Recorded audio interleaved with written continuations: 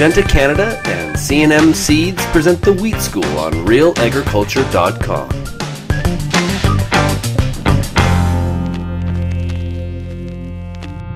So tell me about um, what's so important about on-farm trials.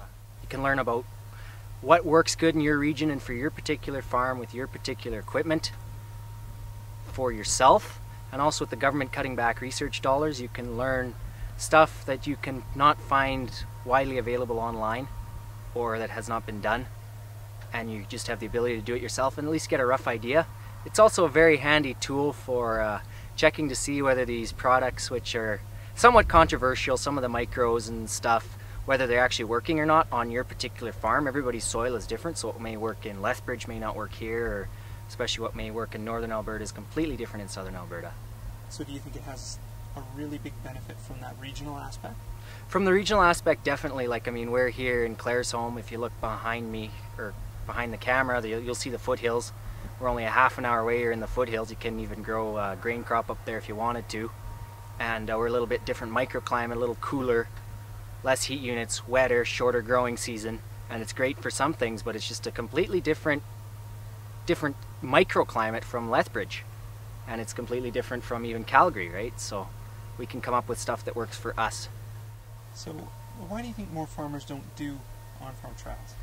Um, time. It is a little bit of work, not so much in this field. Like right now, these two drills you see in the background here, they can, uh, they don't right now in this particular piece, but if they're doing research, the prescriptions would be preloaded into the field computer in the cab and they would automatically do it. But I mean, all of that you got to set up in the winter. You got to get your research methodology figured out. And it, it just takes time. And I mean, you got to have, have the equipment. Like there we got the, it, the field computer comes with the drill anyways and the auto steers there. So it's no extra money in equipment. You just got to learn how to utilize it. And I mean, admittedly, some guys don't have that equipment, and that's fine. But I mean, even just simple check strips make is you'll actually learn more from your mistakes and simple check strips than you do from some of the more elaborate trials I have ran. So, do you think it's a, a cost issue that's that's stopping farmers? Cost and time. It does take time in your winter, and you're always thinking. And I mean, it does add if you're not careful and you're not well well, if, if you haven't had some practice, it can actually be a little stressful in the spring. I know the first couple years we started these elaborate trials, the equipment's not working, right? It's supposed to work. You planned, you planned, you planned, and the equipment's not working, and that just adds one more stress to seeding or spraying or harvest. And uh, you just learn to deal with it. And you know what? Sometimes you just end up, well, I'm going to combine and or I'm going to seed, and you just forget about your trial and try again next year. Like it's not. It's one of those things. If it's not easy, don't do it and you just try to strive to make it as easy as possible. So, so how much land do you dedicate to an on-farm trial? Um, the individual strips, it all depends on what's working and what we're doing. Like I know we've done some stuff where, like if it's a fairly expensive product, we'll just do one tank or two tanks. Like seeding trials, it's usually we try to go by the tank full. Um, like here, if we're doing a seed, we've done lots of inoculant trials and seed treatment trials, and like right now, if I mix up a batch in my seed treater, it'll fill each drill once. And so it all depends, like it'll be anywhere from, I mean, that's an 80 acre trial, right? And especially with two drills usually working separately, you'll get them in two spots of the field you get repeatability. And, uh, but it's got to be simple. And sometimes if it's a little more expensive, I'll mix it up for one drill. Spraying, it's usually a whole tank. Like we just do tank loads. Like we don't. I have one trial, which is a fertility trial, and it's very, very intensive, and that's uh, and that's as small as they've ever gone. I think they're 15 acre strips. So how does a farmer get started with an um, if they want to start on on farm trials?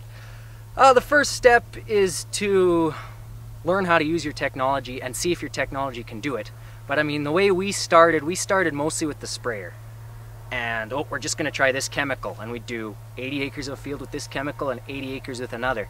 And then you just pull it up on the yield map and see, right? And then we slowly moved into seeding, and just as I described, you know, do one tank of this and then everything normal, right?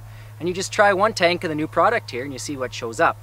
And I mean, on the scale we're doing it, when you're taking 80 acres to do a trial, I mean, almost every piece of land I got has got some sort of trial on it, just because I'm evaluating so much stuff.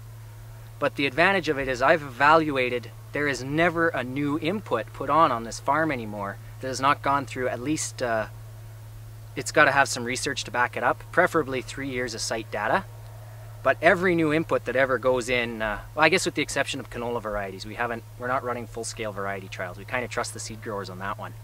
But uh, every other input, like every other wheat variety or pea variety, has all gone through trials, and we just that's how we evaluate, and it seems to work really well. And I mean, the big thing is you need a yield map and you need to calibrate it, and it's not so much the absolute numbers trends, you know.